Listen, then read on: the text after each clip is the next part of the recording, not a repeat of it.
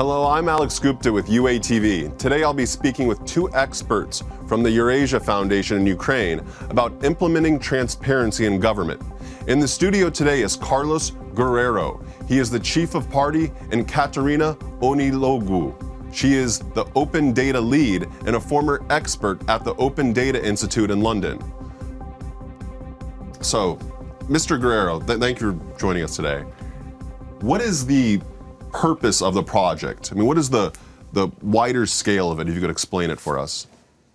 Well, first of all, I want to thank you for the invitation to participate in this program, and I apologize for not speaking Ukrainian because I'm in Ukraine. But uh, I thank you uh, for for this opportunity. Our project called uh, TAPAS project, which is Transparency and Accountability in Public Administrations and Services, is a project sponsored by USAID and the British government to support the government of Ukraine to improve its uh, three components. One is the e-procurement, the other one is the open data initiative, and also the e-services.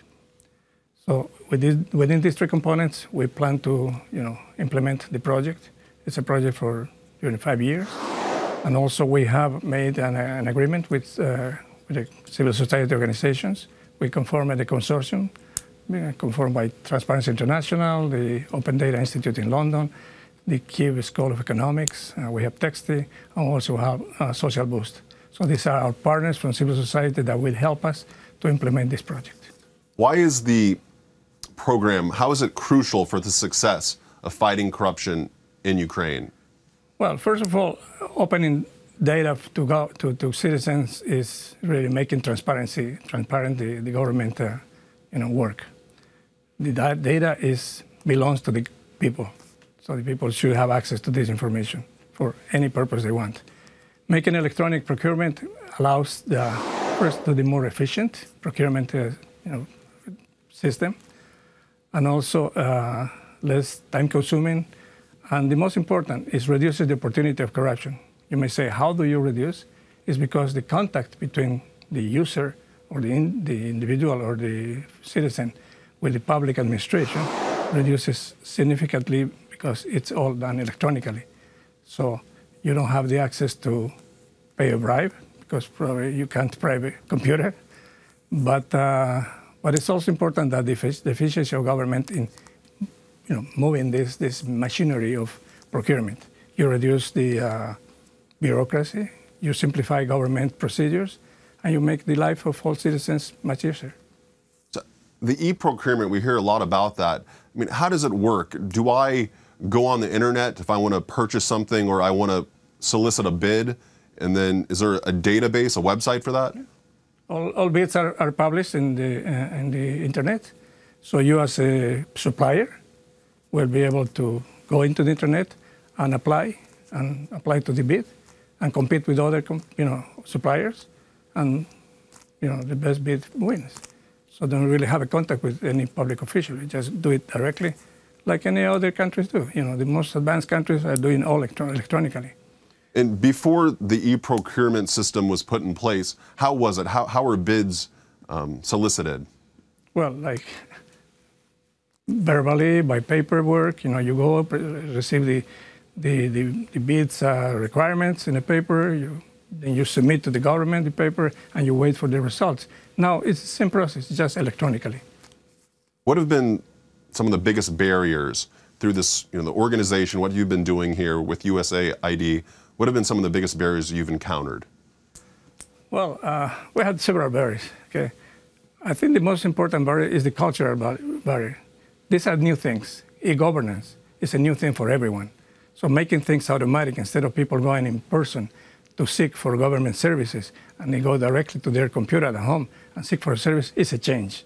So people have to get used to it, have to trust that this is working, that you know there's no anything that's behind because it's always like uh, the the subject of trust. And if people don't trust in the institutions, you know, even if you put it electronically, it's not going to work.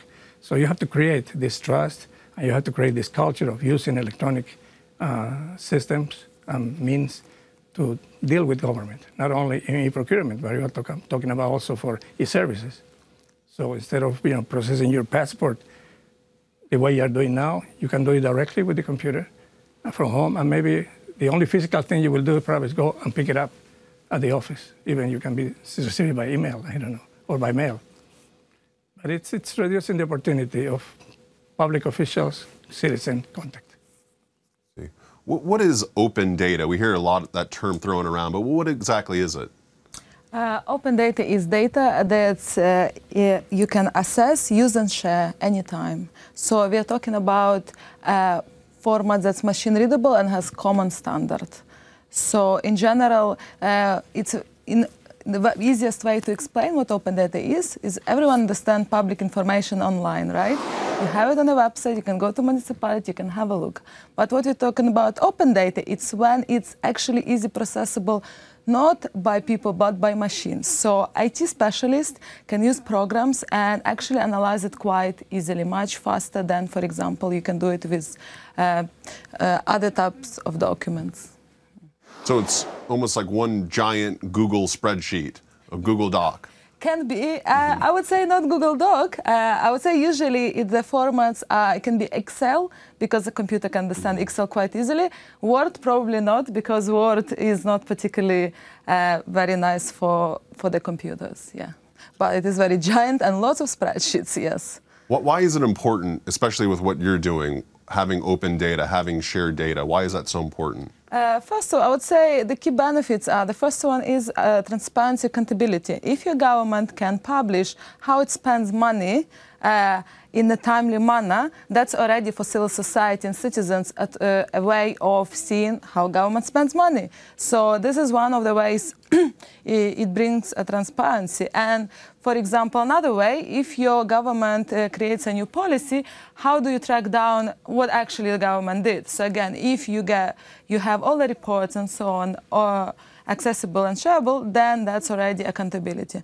Second one, I would say that open data goes beyond just transparency because this, is a raw material for IT community, for uh, IT community particularly create new services, create um, uh, new tools, uh, and I would say it's economic growth in a way, right? And the second, uh, last one is efficiency. So, for example, if you if you, you have this data online, then you can actually analyze where the best money you should not actually spend. Why is open data so important for what you're doing here in Ukraine?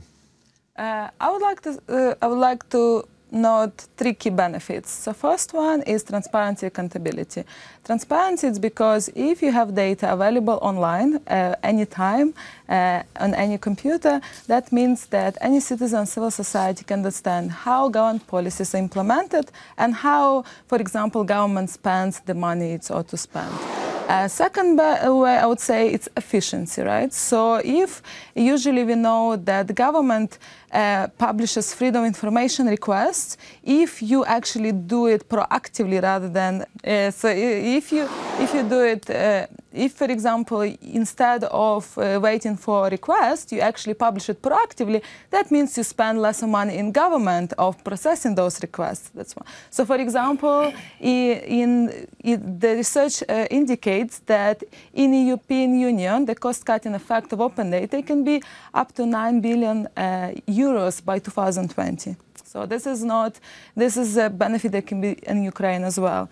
And the last one is that open data creates innovation and economic growth because uh, startups and IT community in Ukraine can use it to create new services. Okay, where does where does Ukraine rank in the you know compared to other former Soviet states in in, in overall transparency, not just open data, but everything you're doing? Where does it rank? You know, how does it compare to other countries? Well, in the last uh, last uh, report from Transparency International, Ukraine ranks in 131 position out of 176. Okay, so uh, it's I have the chart here. It's compared to several countries like uh, you have mm, Nepal, Russia, Guatemala, Iran. Those are the, the ones that are among the, the same group, 131.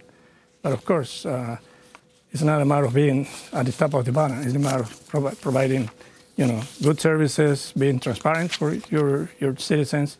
And at the end of the day, this is a matter of also political will. Okay, so you need to create this culture of open data through political will to open the data. Don't be afraid of open the data. Government should not be afraid of open data because this data is used for everyone. But it's a culture, like, you know, they think that the information is a power. So you have the information in your institution, you think you're going to lose power by giving it up. It doesn't work like that. It's because actually it's going to increase your power because you will be able to share other, other databases from other institutions, and everybody's going to share everything. So that, Okay, yeah, going off that, is there, are you encountering an obstacle uh, mentality wise? You know, obviously doing a lot of electronics, open data, as you said, a lot of people don't want to give up the information. So are you encountering um, an obstacle with that? Yeah, I mean, uh, culturally, yeah, yeah, of course. You know, as I say, you know, it's a matter of resistance to the change. But also uh, the interoperability of these databases is also a problem because every database has been created in different times, in different systems, different languages. So you can like everybody's talking different languages when you want to interact with these databases. So we're working actually on inter, interoperability of these databases to make them all be able to exchange information between each other. Uh, uh, in general, people think that open data is uh, spreadsheets, but actually, uh, open data it's beyond technology. It is culture of government. So, for example, what we see it's a lack of capacity of government official understanding what it is, right? So it's not even resistance because I don't want to. It's sometimes resistance because I don't understand why. So you need to, to actually raise the capacity of the government and talk not just about uh, people who release data, but on a high level uh, officials. So that's why it's mostly it's culture change. It's a change of mentality of government that we are open by default. You were quoted as saying, Mr. Guerrero, that you know through this program, living standards of the ordinary Ukrainian will improve. How will it improve through this program? Okay, first of all, this is a program for anti-corruption and promoting transparency. By implementing these mechanisms of transparency and anti-corruption, definitely the people's uh, life will change. How? For example, in e-services, people, instead of doing those big lines, having to pay bribes to public officials for getting papers run through the system, they will do all by electronically, and probably the cost will be reduced to the minimum. So that's a way you can have a better life as a citizen. Second, uh, the use of the resources of government will be more useful and will be more known by people what the government is doing with the resources. It's your paying taxes, it's your money, you should be government should be accountable to this to you. So people should be able to, you know, demand from government the accountability of what is, how are they spending the money. And that's how open data helps into that because it's an open book and everybody can have access without asking why. You have the right to ask for information without giving an excuse or an explanation why you need this information. You just want to see it. And that's what makes a government transparent. I know with the e-services, you're doing a lot of work with local governments. How's that been going with municipalities? Well, it's, uh, it's still a challenge uh, with municipalities because municipalities are, difficult. But uh, there are, you know, as I said, some municipalities that are willing to open data, that are willing to implement, you know, electronic services. Uh, it's also a matter of resources. That's another another restraint that you know they may have, because it is, you know, you need to implement new technology. You need to implement maybe buying new equipment. So that's a restraint. But if you can manage the budget of your municipality in a way that you will be able to provide this to citizens, I think it's feasible. But you know, political will is important. Corruption is a matter of opportunity, and it's also a matter of will. So if you have the will and you have the opportunity to do it, you will do it. The other, either way, the good or the bad. Yeah, I would say that uh, on a city level, it's even more important than national because as a citizen, you want to find out what's happening next to you, right? You want to know when the next bus is coming. You know, want to know how much money spends your local hospital. You want to know all the things that matter to your everyday life. That's why working with the municipality is the key here. And municipalities, they understand uh, their, uh, their role in the life everyday life of citizens. So in our experience, it's been quite open so far. Uh, and we have, for example, uh, in Ukraine, uh, some cities who are already champions in open data. For example, Lviv in western Ukraine, it's, it's, uh, it already has a, its own portal of open data where it provides information on actually about the kindergartens, about the hospitals, about, uh, uh, about their budget in a local of their municipalities. So it, it has already shown the impact. Okay, how do you programs such as yours, specifically yours, decide who to work with in Ukraine? Well, we work with the government of Ukraine. and We are based on their priorities. And we work with the State Agency for E-Governments and the Ministry of uh, uh, Economic Trade and Development. Those are our two counterparts or institutions. And with them, uh, you know, they do they put the priorities on what institutions we're going to work with. And my final question: How will you know if you've been successful? What, what, you know, when will you know that this program was a success? What are you, what are you looking for? Well, first we'll see if the e-procurement is, uh, is already like a standard for e-procurement, uh, so everybody is using e-procurement in government for all the procurement, the electronic system. That's one, one measure. The other one is how many e-services have been automated. What was manual before now, okay? And the other one is how many municipalities will have their open data, you know, books open, I mean, everything. So that's one way to measure.